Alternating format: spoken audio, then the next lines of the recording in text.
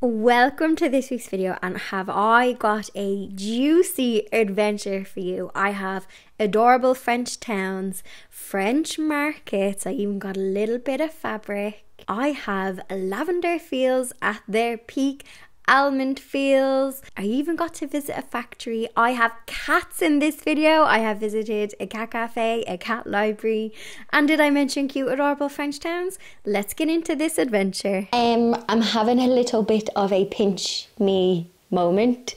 I'm having major imposter syndrome.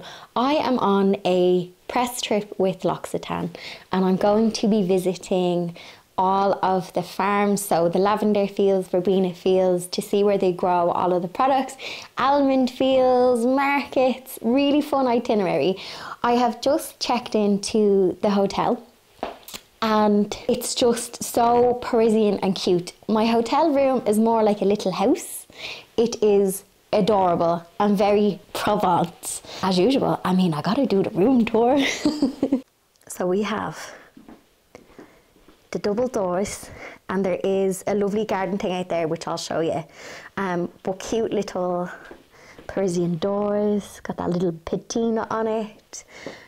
Beautiful bed. Vivi got us a cute um, sun hat, which is definitely going to be needed because it's very sunny here. And look, there's like a little bit of lavender on it. We've got my tea station. I don't think I'm allowed take this um, straw bag. I think it belongs to the hotel. That's the name of the hotel. Um, and it has this swimming towel in it. And then that says, don't steal the swimming towel. I have my tea station, telly, although I probably won't spend a lot of time here because we're going to be rambling around places. Um, we've got the lovely, I think these are faux beams, um, but they give a really nice effect. And then we go into the bathroom. I am like, girl, you've just got a toilet in here. We have a beautiful sink. Also, I noticed this as well. Look how cute this little window is. It's um, just got like a little latch here. And then I have a window. Oh, look at that. And we have another faux beam in the bathroom. And we have a nice bath and shower. Yeah, we have a shower here. Oh my God. We flew out this morning, myself, Karen, and Vivian, Vivi, who looks after L'Occitane. So we flew into Marseille. I had been to Provence five years ago and we flew into, I think, Nice and we had loads of driving. So I remember at the time we were saying like flying into Marseille is kind of the best one. So if you do want to kind of visit Provence with the lavender fields and everything, from what I remember the last time, definitely have a car to get around and fly into Marseille if you can. And we flew the Ryanair flight, which was great because I think it left at 10, so it wasn't too early. And um, it's like, I think half two now I think, and we're about to settle in. We're gonna go get lunch, and I will show you the lovely Parisian gardens. But honestly, I, I am having a bit of a moment as someone who, like, my regular viewers will know I love now, you know, travel vlogging and stuff, but I never really do like press trips for companies.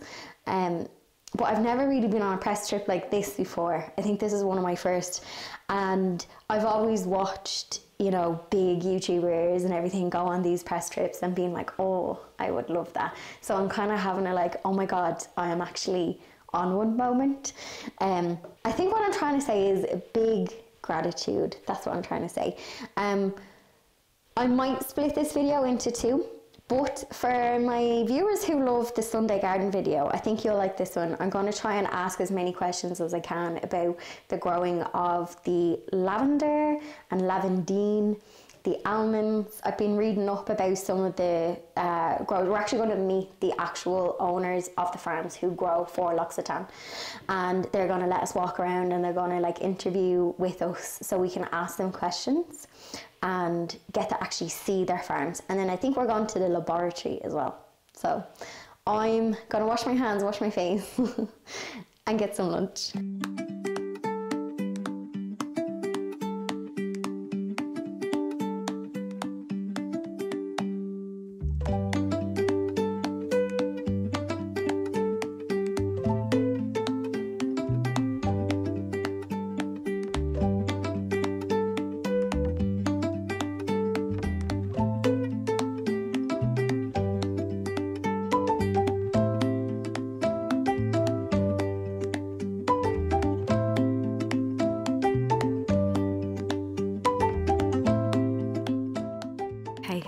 Just copped.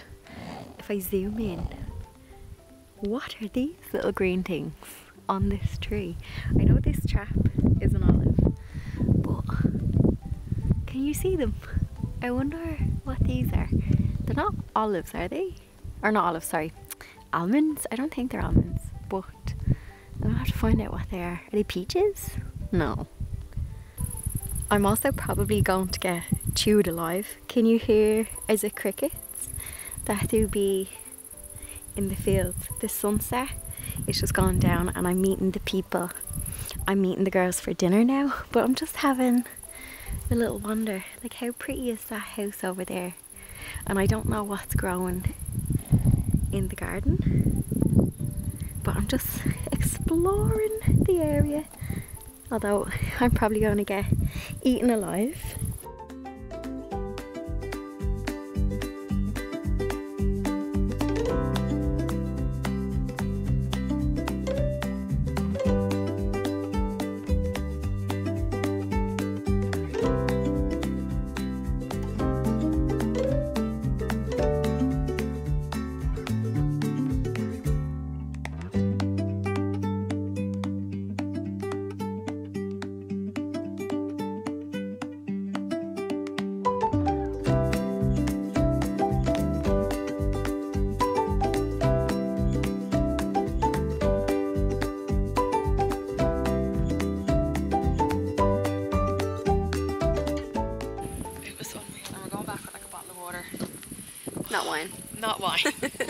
That moon is a whopper. Look. It just looks miserable on camera. But hold on, let me show you these little cottages.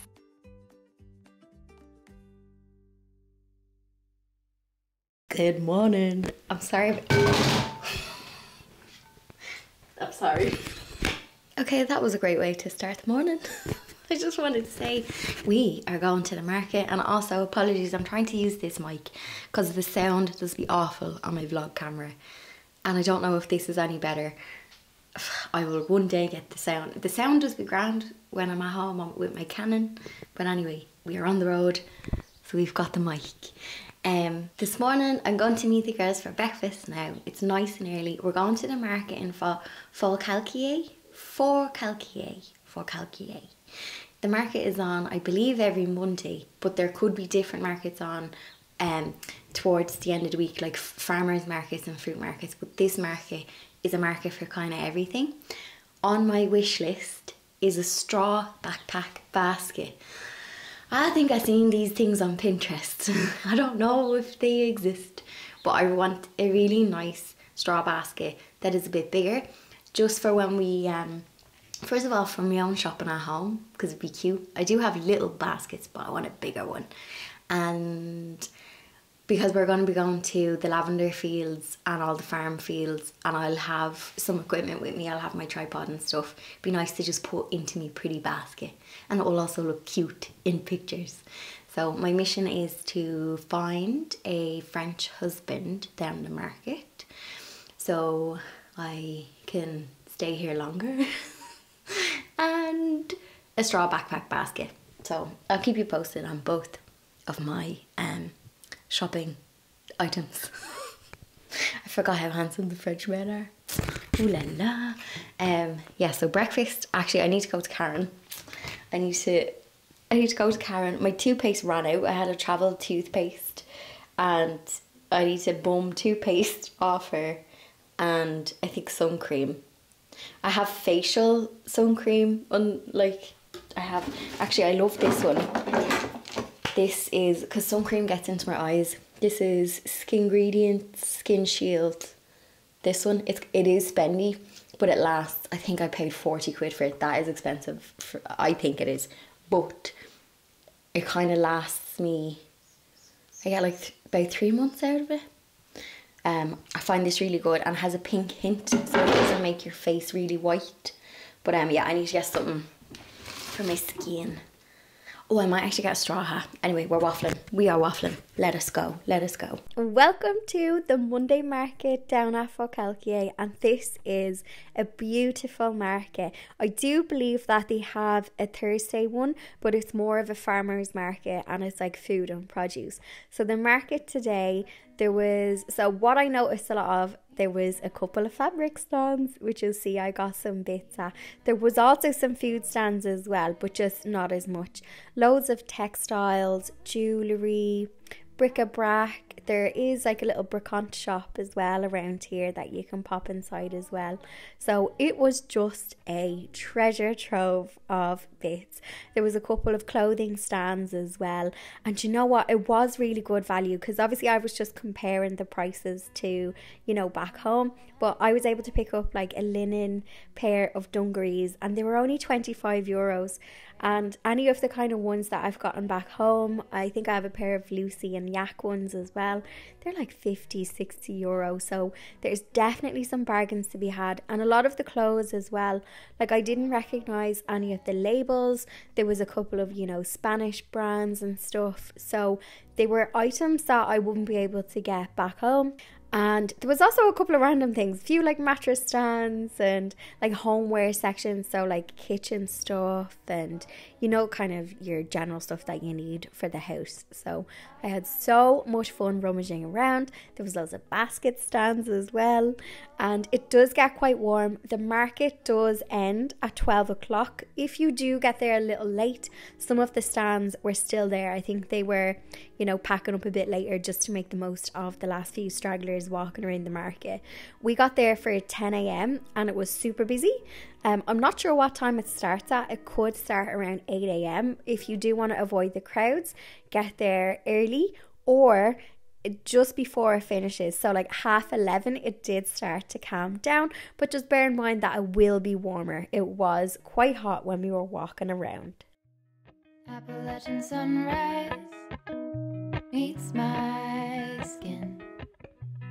Even with my eyes still closed, I can feel it coming in. Golden, golden, I'll follow only golden, golden, golden,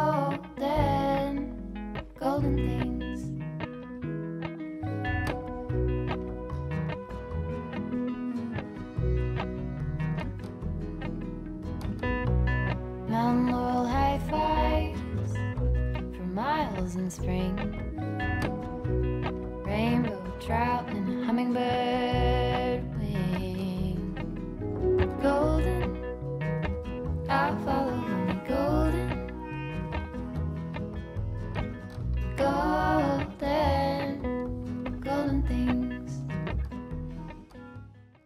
So with the food in France, I was way more adventurous than I normally would be, and I think it's because I was with a group of people, so I could almost sample their food first. But the burratas, I think I must have had throughout the whole week about ten burratas in me. they were just delicious.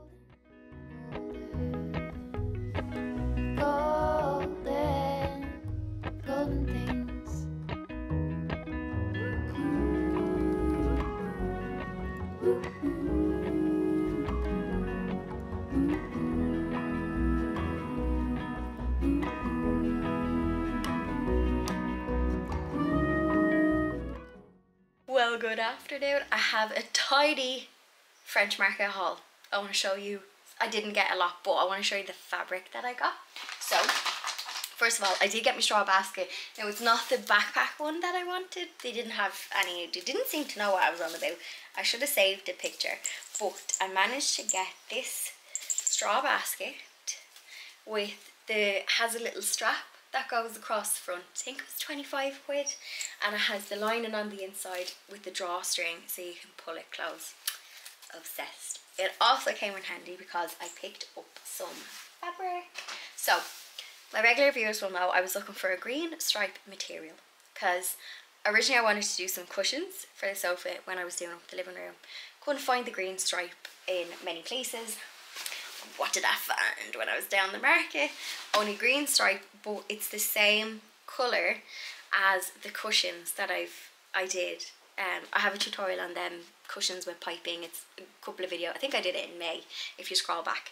So um, I managed to get some stripe fabric. Oh my god girls, the fabric stance. They had so many floral cottons, linens with lovely patterns on them that I just feel like I, I don't see them as much at home. Obviously in Ireland you've got the five euro fabric shop and that had loads of kind of upholstery fabric and like thicker fabrics like this but they didn't have the kind of fun cute floral ones. Um, and there was loads of them down the market and if I had a heavier case as in if I had more weight in my case available I would have bought more fabric. But I picked up a couple of meters of this because I'm thinking this would be beautiful for a DIY window seat which is on the never-ending list of things I want to do but did I hear a cat? I thought I heard a cat there's no cats running around here right uh, then I just picked up, so I got basket fabric and I got these dungarees. So I seen a girl wearing a pair of these down in the market and I was like, hashtag influenced. Um, she was wearing a green one and because I already have a couple of green pairs of dungarees, I thought these ones would be nice for autumn time and um, for when I'm kind of doing stuff like when I'm working from home because they have a longer leg but they're still kind of nice and lightweight um, and because I've loads of pairs of dungarees that are like shorts so I picked up these ones. So they're that kind of lightweight material and I don't know, can you see? Yeah, so I picked these up. So I may have to, I may have to, I probably will have to do a little job on the legs. I must actually try them on because he said they're one size. Us ladies know one size. There's not one size fits all. So that is what I got. Also I had to fly into the supermercado. I don't think it's a supermercado in France. It's Supermercado in Spain. Had to get some razors for the hairy legs and then I also picked up the goods. Throws me off how the colours of the crisps are different to the colours at home. So in Ireland, salt and vinegar, vinegar I think is green packet and blue is cheese and onion and then red is ready salted. But this red is called nature. I don't know what nature tastes like. I'm about to find out.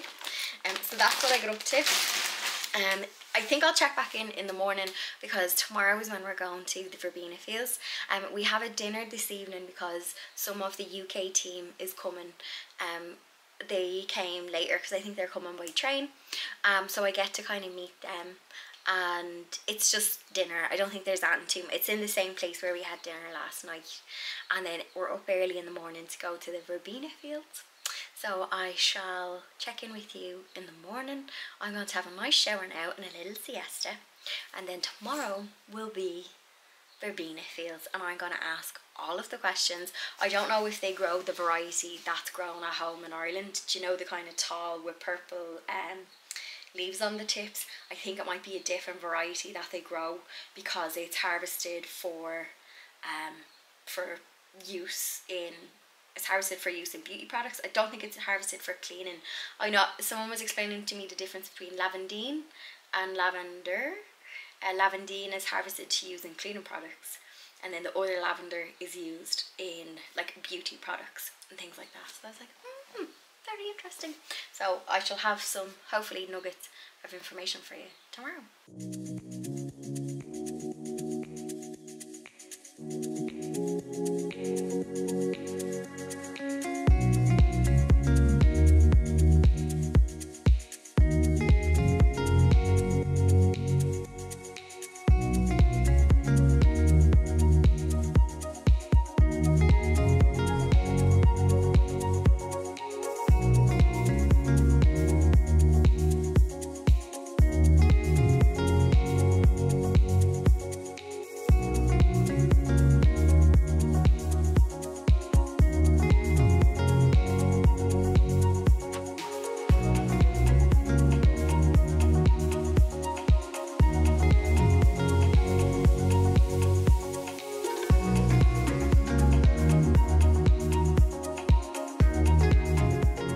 My mic is working this time, but I'm in the verbena field. And You can probably hear the lovely sound of nature behind me. So um, I think, I'm not sure if my mic was working when Philippe and Maggie were talking, but I did get some footage on my phone, so I'll insert that in.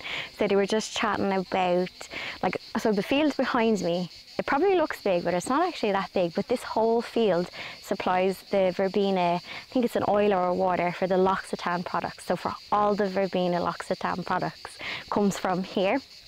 And it's amazing how much you can kind of get from one plant. But they were chatting to us about um, like cover crops and how that they want you can kind of see behind me in between the rows that they want to have like they're cultivating and growing more cover crops so that the soil can be healthier so that there's a less reliance on using loads of fertilizers and things like that so the goal is that the soil will just kind of regenerate itself I am not a pro when it comes to knowing about things like that. It's something I'm really interested in, but it's not something I have a whole lot of knowledge on. But um, the verbena that's in the field is harvested twice a year. So the kind of saplings that are there, probably only a couple of weeks old, but the lads were saying that they double in size really quickly because obviously the heat behind us. And the verbena, I always thought verbena was a French kind of native flower. Maybe it's just because it's in a lot of the kind of French beauty products, um, but it's actually native, I think. So the guy said, I didn't double check, but uh, I think South America. So I do have some verbena growing at home. I need to go and ask the guys, is it the same verbena that I grow at home? I don't think it is. This verbena smells really citrusy when you rub the leaves. My verbena at home doesn't, so I'm I'm sure it's a different type of verbena. Um, but if I find out, I'll let you know. So yeah, that is the verbena field. I'm absolutely sweating. I'm going to get uh, some water and a drink um, and I'll pop in any other knowledge that I come across. Um, I'll just do a little voiceover with knowledge. So yeah, I think they also they also grow lavender and lavandine. So I'm going to see if we can go there and then I'm going to seek some shade. I was actually able to find a little article um, about Philip and Maggie Mary. If you want to check it out, I will pop it in the description box.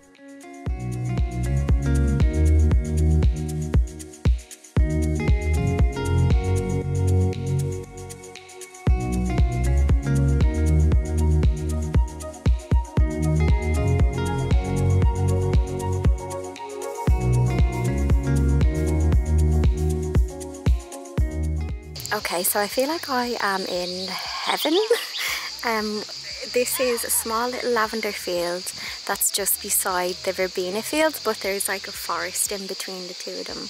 There are so many butterflies, and I don't know if you can hear the hum of the bees, but I am absolutely, I'm trying to like, I know I'm on my camera and I'm like vlogging, but I am going to put it down and just kind of savor this moment because it's this is just so it's just so special isn't it? Everyone's just taking the pictures and having a walk around.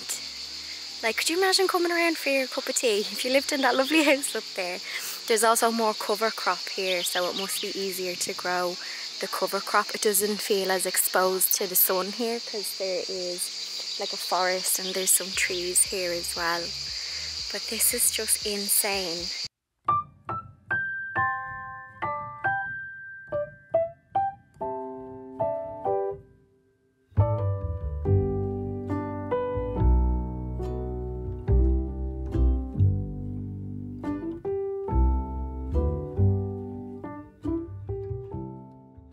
So I do think Philip and Magdalene Mary's land is not too far from Aix-en-Provence. We were based in Forcalquier. Our hotel was just a little bit outside Forcalquier town, about 10 minutes in the car. And it was about an hour's drive from there. So I do think it's just outside Aix. After having our lunch and a little bit of karaoke in the back of the minibus with Vivi, we headed to a wellness session um, that again was in Forcalquier. It was in, I think, the caramel factory.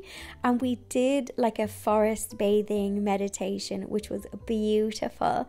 And then we headed to have our dinner in, I'm going to absolutely ruin the pronunciation, Cote de Mimi. Basically, it's the L'Occitane Hotel and it has been getting done up.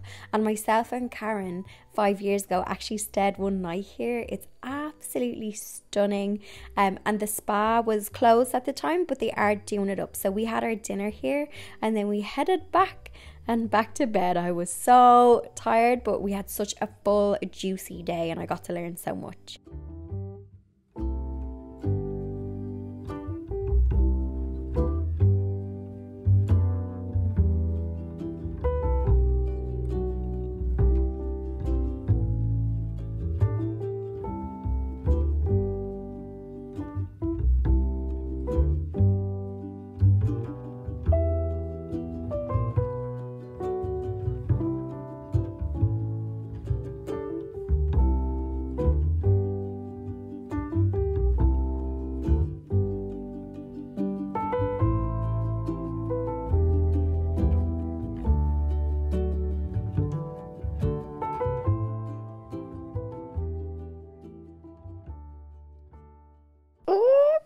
Morning. Today is the day we are heading towards Valensole and we were going to go to the producer who grows the almonds for L'Occitane. His name is Jean-Pierre Jaubert and I also found some information as well if you want to read an, an article on him. I'll pop it in the description box with the link to Philip and Magdalene Mary as well.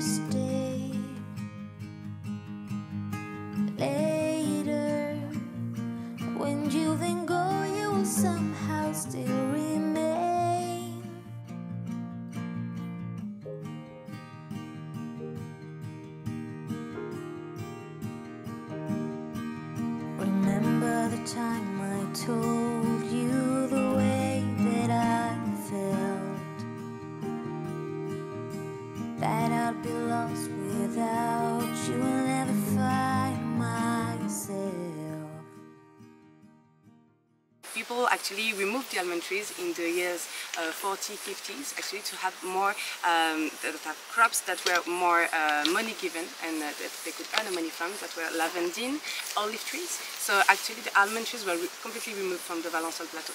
And uh, he decided uh, with the meeting of, with Olivier Baussan, the founder of L'Occitane, to actually re-come to the almond tree cultivation. So he replanted in the years 2000 5,000 almond trees. Donc il me dit de faire un essai. Bon, j'ai fait un essai, j'ai planté 5000 arbres. Good morning. I am so excited. Okay, uh, I'm at the almond farm. Would you even call it a farm? Fields? I suppose it is a farm. Um, so I am just at the almond farm and everyone is off kind of taking the pictures and doing the things, but I wanted to come down to the beehives.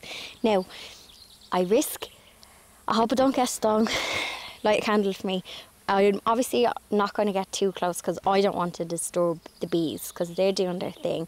Beautiful lavender field behind, beside me, and it's like the bees are just in and out.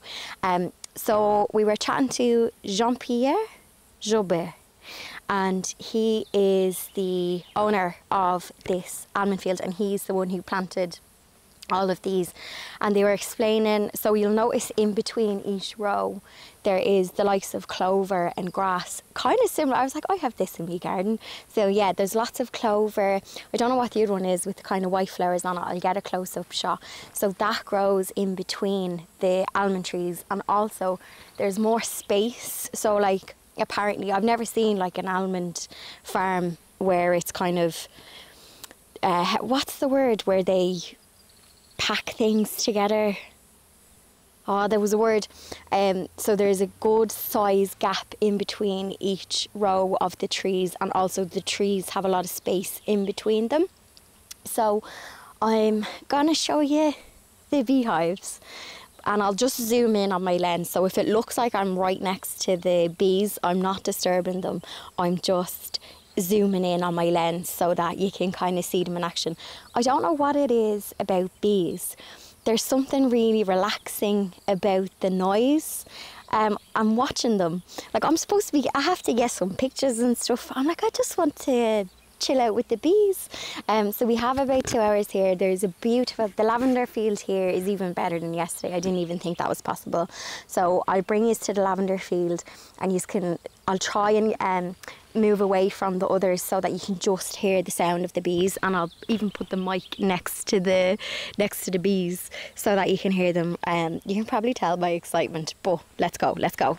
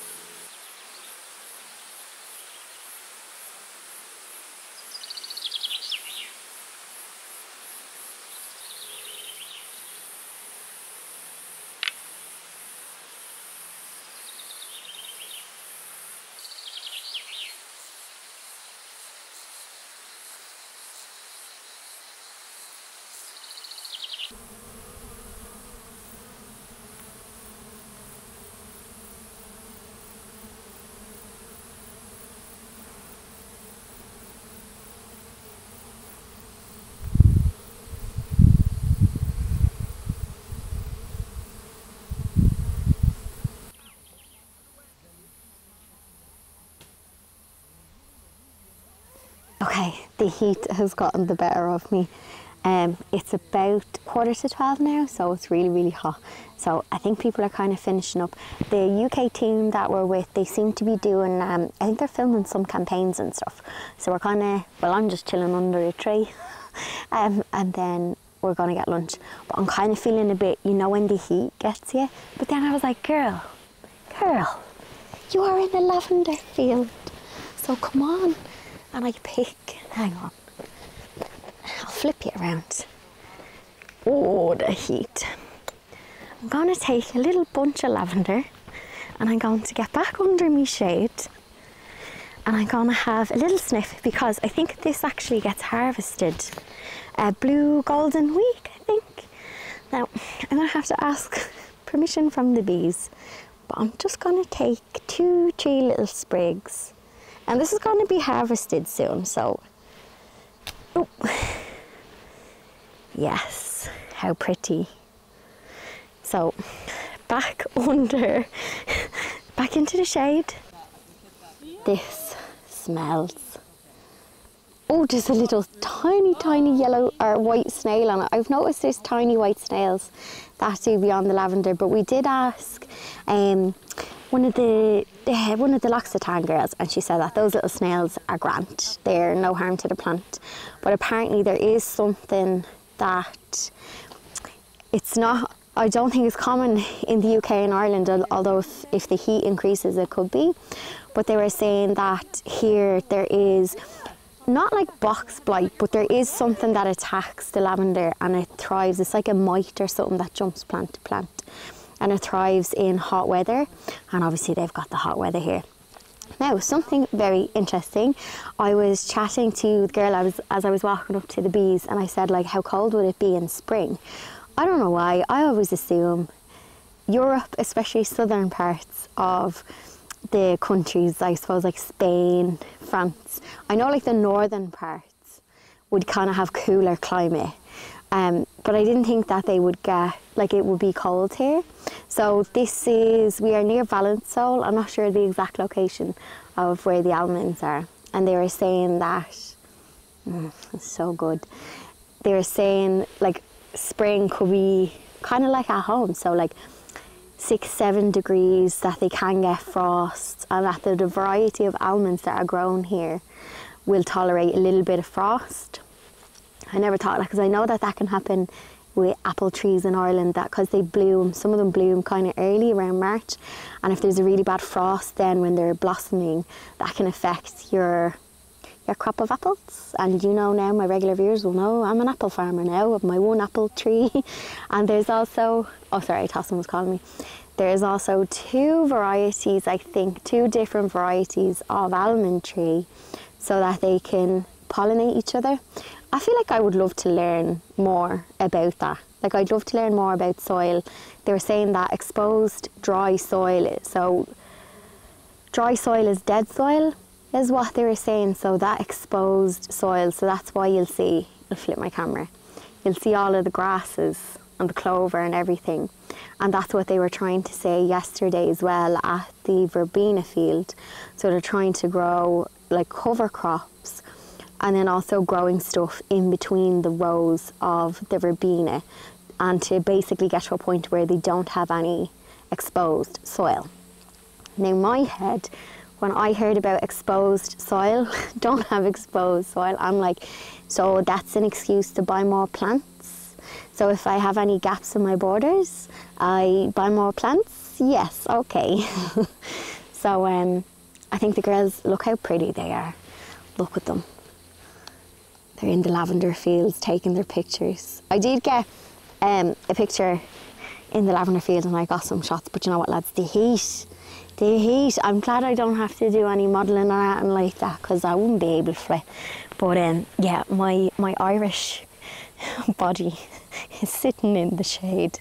But um, I hope I got enough shots of the field and stuff. I think we're going for lunch, but um, Jean Pierre Jaubert also has a shop here. He grows, um, he actually has his own, I think, beauty products with the almonds as well. So as well as supplying L'Occitane, I think he has his own like homegrown beauty stuff in the shop. So I think we're going to get to visit that before um, we head to lunch, which will be soon because I'm hungry, hot, and I'm thirsty.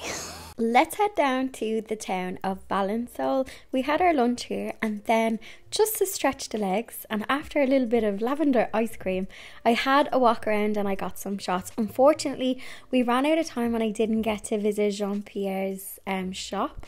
But if you are in that area in Valensole and if you just ask any of the locals um, or in any of the restaurants and shops about Jean Pierre Jaubert, he does have some other, uh, you know, you can, he has a lavender field you can visit, the almond field, and he had a large shop as well. We drove past it and it's quite well known and popular in the area if you do want to head in.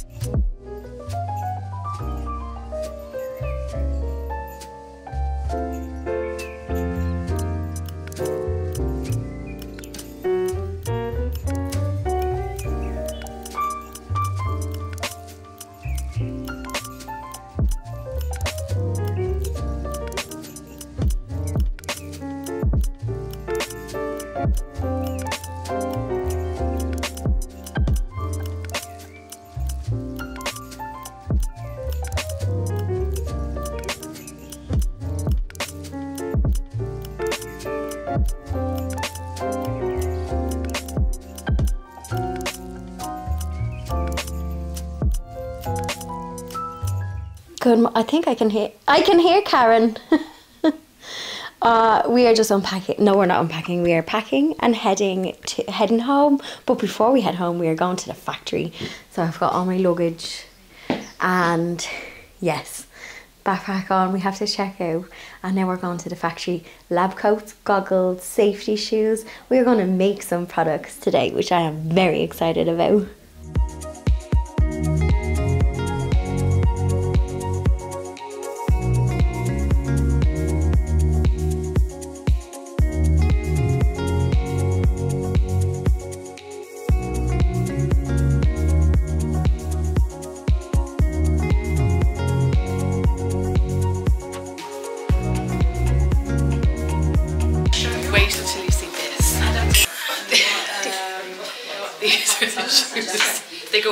Go over.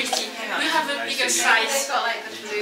You can have a They look like like the Oh, that's two pairs. yeah, the bag. Yeah, yeah, yeah.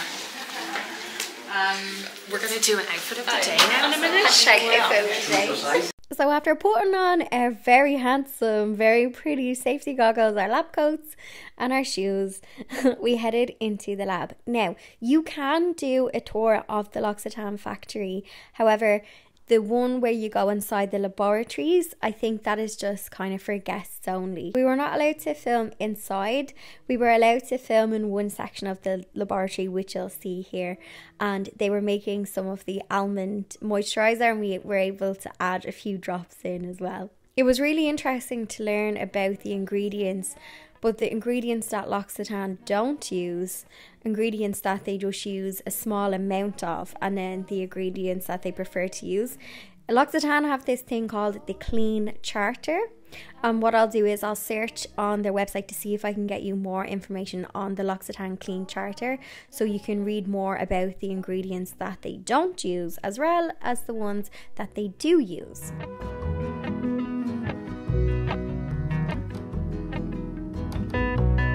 Mount Laurel high fives for miles in spring. Rainbow trout and hummingbird wing. Golden, I'll follow golden. Golden, golden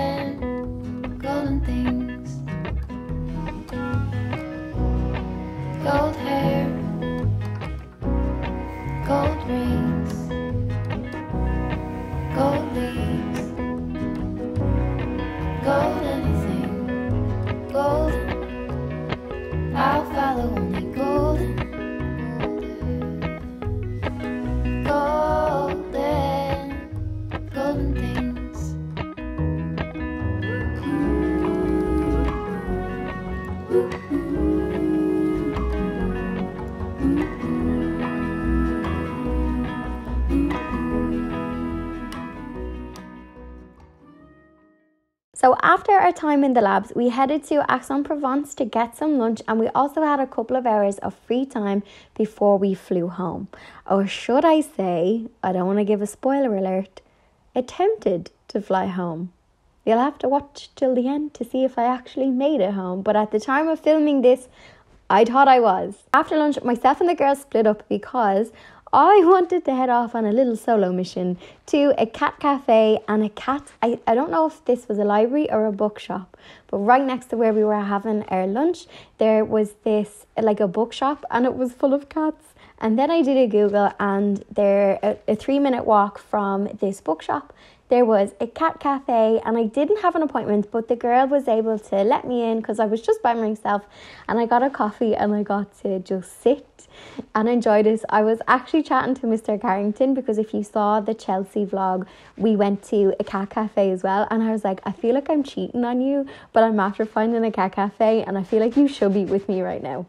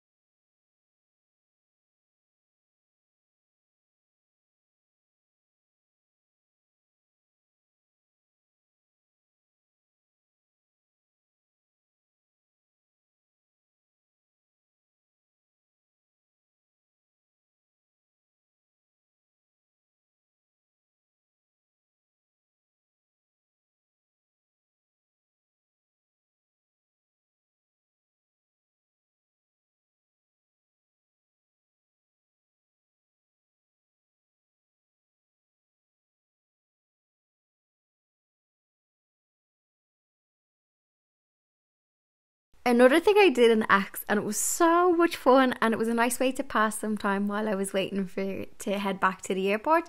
I got on one of those tourist trains. It was ten euros for an hour, and the little train brought me all around the town, and it was so much fun. And the girls were having a drink, and I was just giving them the royal wave while I was on the train. And then after the train, I headed to meet back up with the girls, had a little pastis, and then we headed to the airport. Well, have I got a story for you? if I look exhausted, it's because Ryanair uh, did me dirty last night. So I'm now on my own. Let me explain the situation. My flight was supposed to be 23.20, Marseille to Dublin direct. And we were an hour delayed. Sorry, I was in the middle of brushing my hair. It was an hour delayed, so we went in. Half 12. Plane was disembarked. People came off, no one was getting on. The lady was like 23 people need to get off this flight because we are one crew member down and then or else the plane will not take off at all. And i was like what? But the lady didn't explain it proper at the time i don't think her english was uh, too good so vivian who was with us um, on the trip she works for l'occitane um, she ended up going on the microphone and explaining it to people, like basically doing Ryanair's job. No shade to that girl either. Um, I think it was just like I really felt sorry for her because obviously people then got angry. People then got V tense. So Karen, Vivian, myself, now Sarah's with us, but like she's five kids and she lives in the west of Ireland. So I was like, you get on that flight to Dublin, right? We'll we can sort them out. So the girl was like, "Oh, we'll give you the sun, moon, and the stars. This is the Ryanair girl. You can like stay until Sunday. We'll put you up in a hotel, or you can fly five a.m. to Bordeaux, then Bordeaux to Dublin, then you can fly London, and then London to Dublin. Okay." Trying to make it sound like a thing, and I said, you know what? There's lots of like families and stuff on this flight. I, I can work remotely. I'll stay in Marseille and I'll get the direct flight home on Sunday. So it's now Friday 9 a.m. And then uh, they took a turn for so anyway they got us so more people volunteered as well. And i thought maybe because we're volunteering they'll treat us really well. No they then proceeded to treat us like absolute shit. So this was like you know maybe half one. Um, we went to the ryanair desk and your one uh, a, lot of those options were not no longer available. um, so some people flew to Bordeaux, but then now have to wait until 4 p.m. Friday today to fly back to Bordeaux to Dublin. So they're sitting in Bordeaux airport for a couple of hours. Um, I think there was mention of them getting a hotel for the couple of hours so they could sleep. So that was an option. Then there was going to Stansted and then the girls would have been home at like 11 this morning so like the Marseille to Stansted Stansted to Dublin. But then, then by the time they got to the desk that 9am flight was gone. So the girls now Karen and Vivian are sitting in Stansted airport until 1pm and they haven't slept at all. So I left them in the airport at about half three because they were on that like half five flight to Stansted and now they have a long wait in Stansted. So now you're wondering, so what option did you pick? I decided, listen, I'll stay until Sunday. Then Ryanair says we only cover one night's room. I said, ah, go on, fine. I'll foot the bill for the second day. Then uh, anyone who wanted a hotel had to wait and sit for them to organise the hotel. Then they turn around, this is now 4 a.m. I'm waiting there since 1. You guys will all have to organise your own hotel because we can't find you any and just like give us the receipt, reimburse us. I was like, I oh, if you can't find a hotel, I'm not going to find a hotel. Um, this lovely guy, he's actually on my flight on Sunday because uh, I was like, I didn't get his name to thank him. He walked with me to the Ibis because he was like, listen, I have family in Marseille Um, oh no, Avignon. Avignon. Um, he's like, I'm just going to wait until 7 a.m. and get a train to Avignon to my family. So I was like, all right. So he walked with me to the Ibis at the airport. Zero accommodation available at the airport hotels, like zero. This is now like half four. I went into the Ibis and I just said to the girl, I was kind of, I think, getting a bit. I didn't get emotional, but I could feel myself starting to feel like, oh no, I'm stranded now. You know, when the reality hits and you haven't slept. I said, listen, I know you don't have a hotel, but by any chance do you have any other hotels? I'll go into the city, like, because I want to be in the city anyway, like, so I can ramble. She's like, let me, let me see. She's like, I said, listen, will you ring them because I don't want to go all the way into the city. It's going to be 6 a.m. by the time I get here. And I'm just walking around because the hotel's check in is 3 p.m. So she rang her IBIS partner uh, hotel. So I'm at St. Charles, I think. Train station's right beside me. Lovely location. And uh, I got here at like 10 to 6. Oh no, then I couldn't get a taxi, right? So she organised me a hotel. She's like, Grant, this is the price. Um, it'll be a hundred and something a night. And they'll let you go in at 6 a.m. And they didn't charge me like extra to check in early, which was really sound of them. So then I was like, okay, I have a thing. Went to book a taxi, no taxis. I was like, she's like, yeah, there's not many, especially this hour. She's like, go to the terminal. So I went back to the terminal and I had my Free Now app, and uh, literally 20 minutes, no taxis, no taxis, and no taxis at the rank. And I was like, okay, I can get a bus. But being exhausted, I was like, I need to use all my mental energy now to figure out the bus. Where's it going to leave me in Marseille? And I have a larger case with me. I don't have my usual small case. And then I was like, I'll just go back to the Ryanair man and say, I'm now stranded.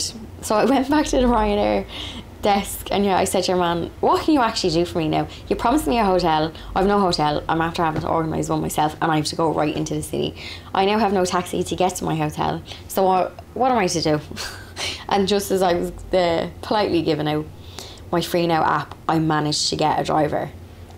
So I got into the city uh, about 10 to 6, checked in. It's now 10 o'clock, is it?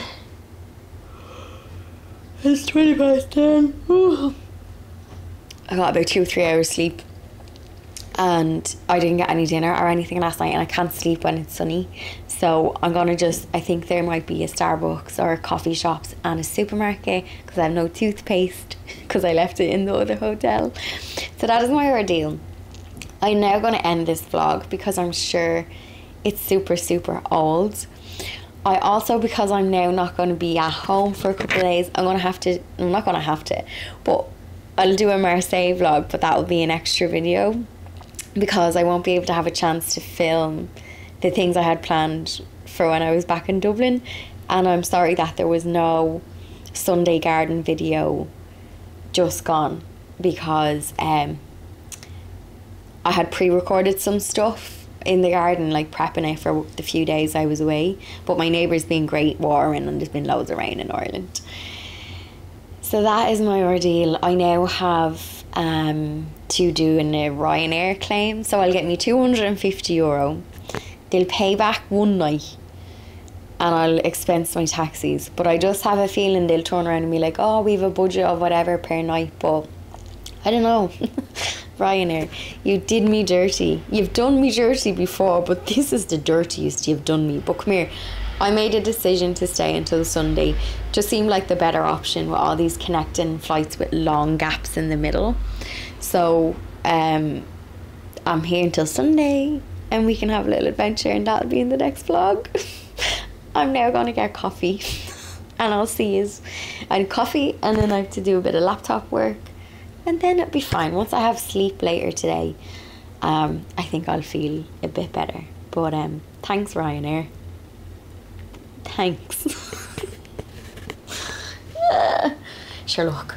Right, I in the next one.